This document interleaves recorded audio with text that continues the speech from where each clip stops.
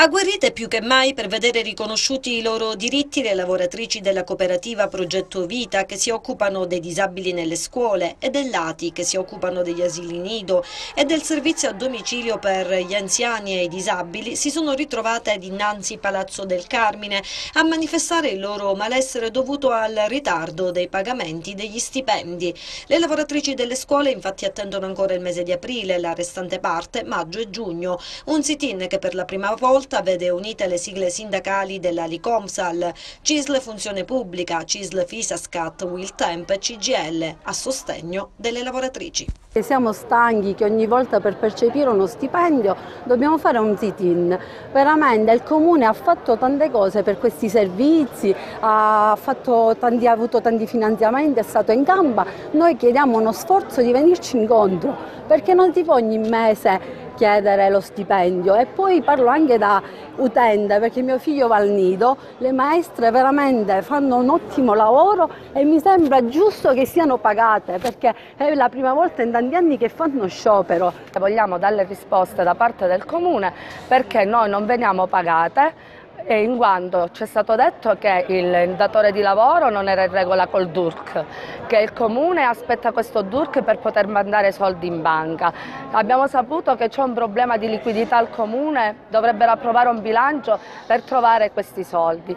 Il problema è che noi la mattina andiamo sempre a lavorare regolarmente e di noi non se ne frega nessuno niente, non hanno rispetto per il nostro lavoro, veniamo completamente mortificate perché ci sentiamo dire che non facciamo altro che lamentarci, perché se non esistessero queste donne che la mattina prestano servizio per il comune di Caltanissetta assicurando asili nido, assistenza agli anziani, il comune non se ne potrebbe fare peggio di questi servizi. Quindi questa frittata che girano continuamente, noi ci siamo stancati, o prendono delle decisioni in merito serie, fanno le multe alla ditta, non la fanno partecipare nuovamente ad una gara perché la stanno facendo partecipare a una gara quando una ditta non è in grado di anticipare una mensilità.